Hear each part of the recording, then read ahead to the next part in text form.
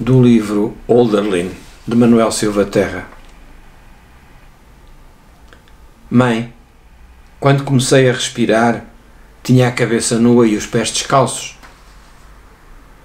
Quando comecei a olhar, tinha as mãos presas nas nuvens,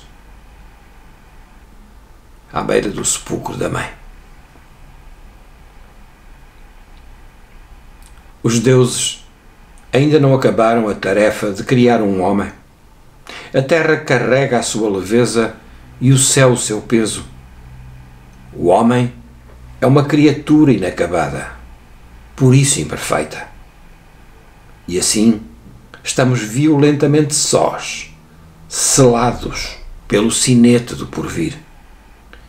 Cada um é uma construção feita a partir de materiais recolhidos no entulho de antigos fundamentos e reconstruções.